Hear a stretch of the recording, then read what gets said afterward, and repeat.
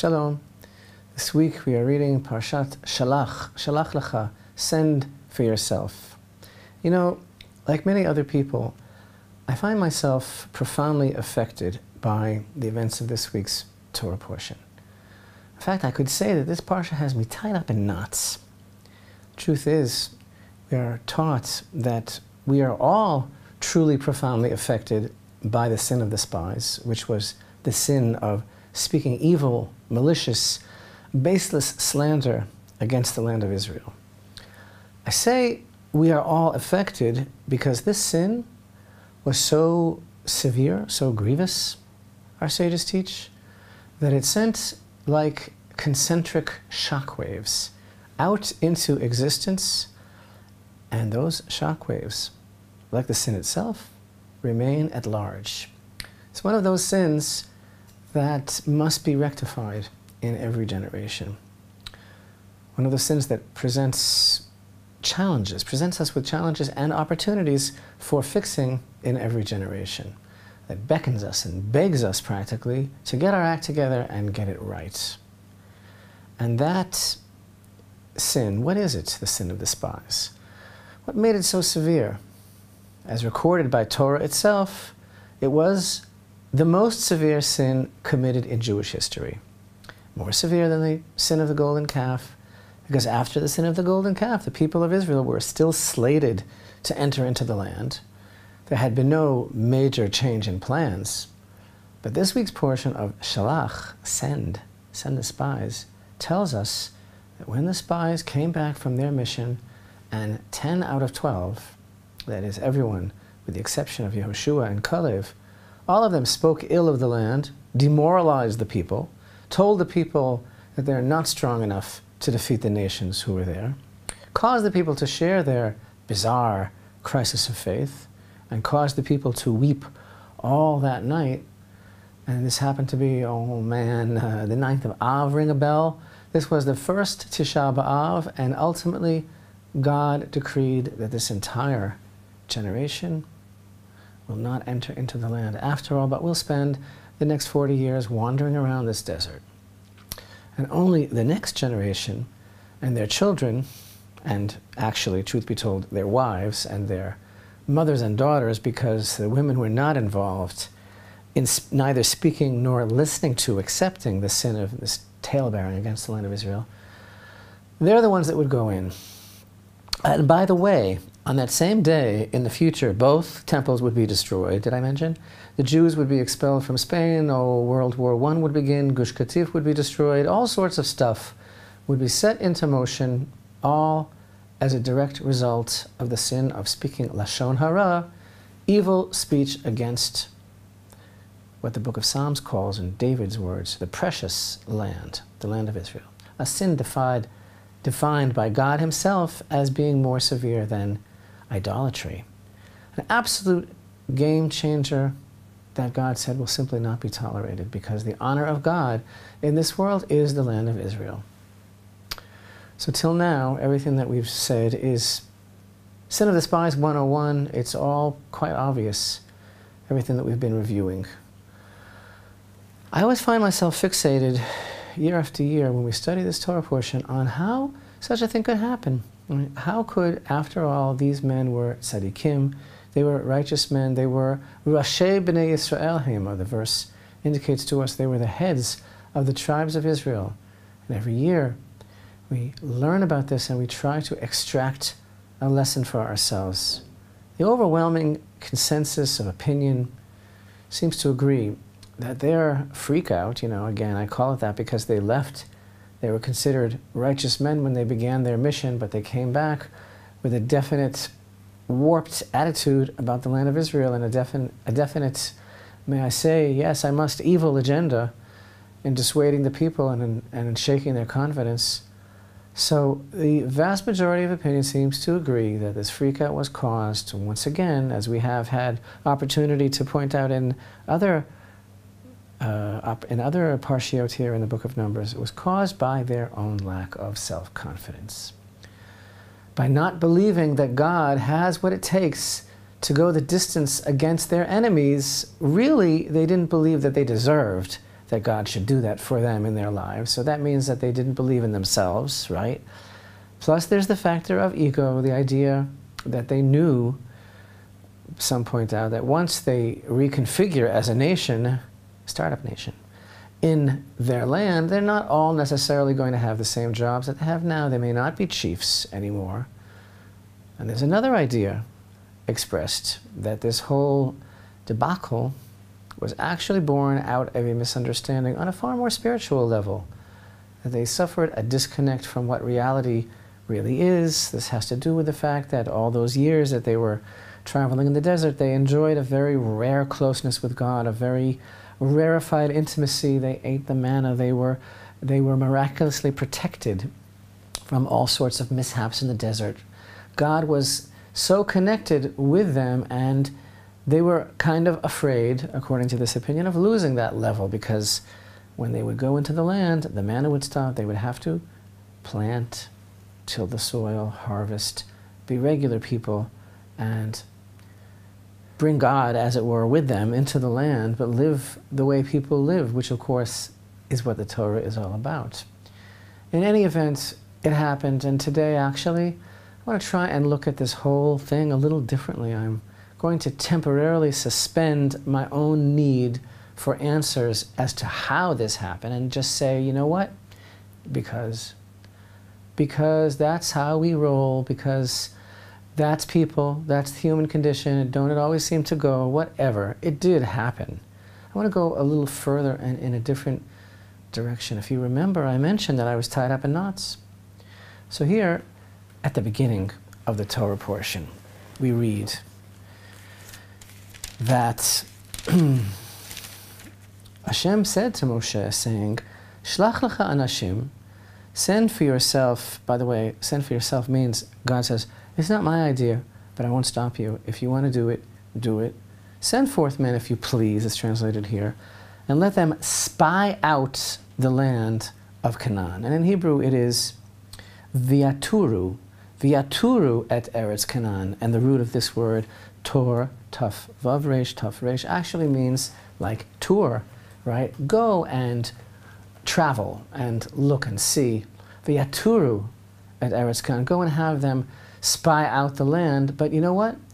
This same word means something else entirely. Lehatir. It means to loosen. It's the same language, exactly the same word, to untie. So you know, Eretz Canaan, the land of Canaan, which God in his ultimate wisdom first had occupied by the seven pagan nations, the land was still tied up with those nations, and these men were commanded to untie it. Shlach lecha anashim, send for yourself men, viaturu at Eretz Canaan, let them untie the land through their traveling, by their walking, in steps being connected to faith in God, the spies had a mission to untie that knot. And this is the intention of our sages when they teach that the land of Israel is dependent upon the children of Israel. Because the land itself is a great mystery, it is a knot. The only ones who can reveal this mystery, who can untie the knot, are its people. And you need look no further than history, those who would care to study the history of this land to know that it did not reveal itself, flourish, or allow itself to be untied under any people other than the children of Israel. And when the children of Israel seek out its welfare, it seeks them out. As we find in the verse Jeremiah chapter 30 and verse 17, Sion ein dorishla, Zion, no one cares about her, which our sages teach indicates to us that it requires someone to care about her. The land is like, if I may, buried treasure. It's not for nothing that the Holy One, blessed be He, sent these men, the heads of the tribes of Israel, who were supposed to understand and to reveal this hidden treasure that our holy forefathers so longed for, way back even when God told Abraham, Go to the land that I will show you, teasing him, not even mentioning what it is. I will show it to you. And Abraham just had this tremendous pining for that land because of this secret that lies at its heart. God wanted to make his heart grow even fonder. And truly, God gave us special commandments that are specifically connected to the land, that have the power that through these commandments we can bring forth the light of the land of Israel. We can actualize the potential of that hidden treasure. We can untie the knot. And thus, we will find later that God consoled them after telling them they're not even going in, consoled them, we're going to be talking about this in a, in a bit, consoled them with the libations and the challah, that their hearts should not fall. And if those great ones will reveal not find it, in other words, He gave us the present, and He gave us the way to receive the present. It's not, this is a deep teaching, it's not good enough to give something to someone if you don't give them the instructions, if you don't tell them how to derive benefit from their present. And this is the answer to all the criticisms about the land of Israel. How are you looking at the land? Through what eyes? Through what standard of measure, with what expectation are you looking at this land? Because it will do you no good to compare the land of Israel to any other land. Because it doesn't work here the way it works anywhere else. The land is locked, and there is only one people who holds the key. And that key is the fulfillment in this land of the Word of God. And then, when that happens, instead of concentric circles of tragedy rippling out, we have concentric circles of light and blessing rippling out into the world. the funny thing about knots, sometimes they need to be untied, and sometimes they need to stay tied. So in the beginning of the parsha, God essentially says to Moshe, okay, send them for yourselves, Biaturu at Eretz Canaan, and have them spy out the land of Canaan, which, as I'm explaining to you, also can mean have them untie the land. And then we find a usage of the very same word towards the end of our parsha when we are learning about, when we have been commanded in the commandment of knots, tzitzit. The fringes that are to be made on the corner of a Jewish male's garment, the tzitzit, which feature a string of sky blue. The tzitzit, the fringes that are comprised of strings and knots that symbolize and remind us of all of God's commandments, like the proverbial string around a finger. One of the functions of tzitzit on the garment is so that we never break our attention from our covenant with God. And in verse 39 of chapter 15, we read, It shall be tzitzit, fringes, for you, that you may see it and remember all of God's commandments and perform them. And then the verse continues and says, Velo taturu, same word, but this time it says, and don't. When in the beginning of Shelach it said, Viaturu at Eretz Canaan, and they will, whatever that means, seek out or tour or untie the land of Canaan. Here it says, Velo tatur, and do not, it's translated as stray, or look after your hearts and your eyes, which you stray after. In other words, God is imploring us, don't untie your hearts and don't untie your eyes from me ever. Stay focused, keep the string tied. So, how do we untie the secret of the land of Israel and how do we keep ourselves tied? In other words, how do we, in our own time, act to rectify the sin of the spies? By countering anti Semitism? By countering anti Zionism? By boycotting the boycotters and exposing the evil of the boycotts, divestment, and sanctions movement? I don't think the problem is the world slandering Israel. I think that's sort of neither here nor there. There are always haters out there, you know, it's a problem, but it's not the problem. The problem in our parsha is the Jewish attitude towards the land, because it's the Jewish people who hold the key to the lock, and for whom the land is waiting for them to show concern, to show drisha, caring about the land, and for whom the land will reveal itself. And so it is today what is the Jewish attitude towards the land? Because all the surveys of the diaspora communities, what percentage of alienation is there from the state of Israel? It's a very popular topic. How connected are Jews today? By the way, speaking of the diaspora, you know that in this week's Torah portion, the punishment was not to be able to go into the land. So, like, what do you think? How connected do the world's Jews feel today? Are they embarrassed of the state of Israel? Do they find it to be a political liability? Are they themselves, God forbid, buying into all of the lines of today's Amalekites? So again, I ask those who criticize, how are you looking at the land? Through what eyes? Through what standard of measure, with what expectation are you looking at the land? Because it will do you no good to compare the land of Israel to any other land. It doesn't work here the way it works anywhere else. The land is a lock. there is only one people who holds the key, and that key is the fulfillment in this land of the Word of God. And then, when that happens, again, light and blessing going out into the world. Have you ever noticed that week after week, behind me here, you see this flag and you see the Holy Temple. And have you figured it out yet that we're trying to tell you something? That it's not over yet, that this is not as good as it gets, even though it's very good, that the best is yet to come. That we haven't yet fulfilled God's expectations, but that we do have the key to unlock the lock and to bring the light out.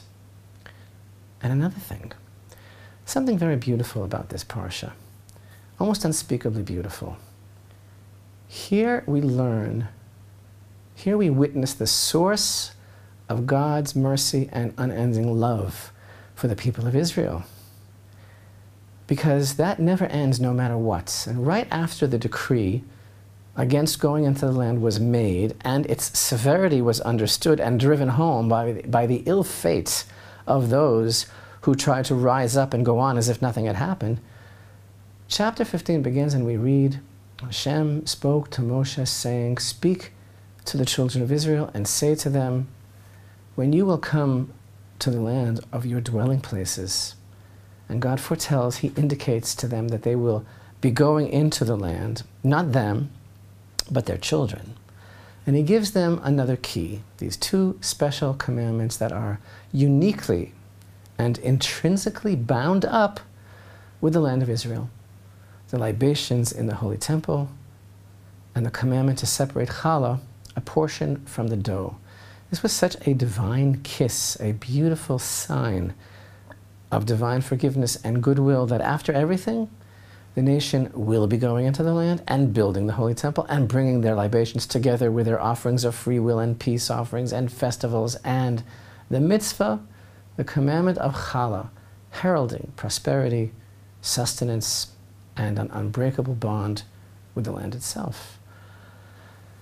I mean, the message of those libations and the challah of this parsha is so upbeat, so holy, so full of the promise of redemption, so full of the roots of God's love forever, the accepting of the people of Israel. The clear message is that God chose this place, and that doesn't change, and it never will, and it never has. But this is a future vision because he's speaking to that generation, telling them when you'll go in and bring your libations and you'll take your challah from the dough, but it's not about them, it's about their children. So it's like, I can look at myself and I can say about my life, well, you know what, maybe it's not about me at all. Maybe nothing that I ever did even matter because it's about my children and my grandchildren. And certainly that's how they had to look at this. It's not about them at all, it's about their children and what they will do and go through. You know who knew this? And this is really very, very uh, amazing. Someone else in this parsha who knew this, who knew that it wasn't about him at all, but it was about the next generation. All of a sudden, and all these profound themes are going on, we have this description right before the tzitzit, before the end of the Torah portion, where we have the, the portion of the fringes, we have this public Sabbath desecration in the wilderness. And it's a very kind of strange section. And there's a man, and uh, we don't know who he is. Actually, I, I think we do, but that's another, another story altogether. And he was a good man. And they found a man gathering wood on the Sabbath day. And you know, uh, there's a death penalty for a person who was told to stop and knows better, but is publicly desecrating the Sabbath. But it had never been done before, and they didn't know exactly how to do it and what it, what it meant. And so we have this man, and you know, there's a really interesting tradition about who he was and what he was doing. He actually was a very righteous person.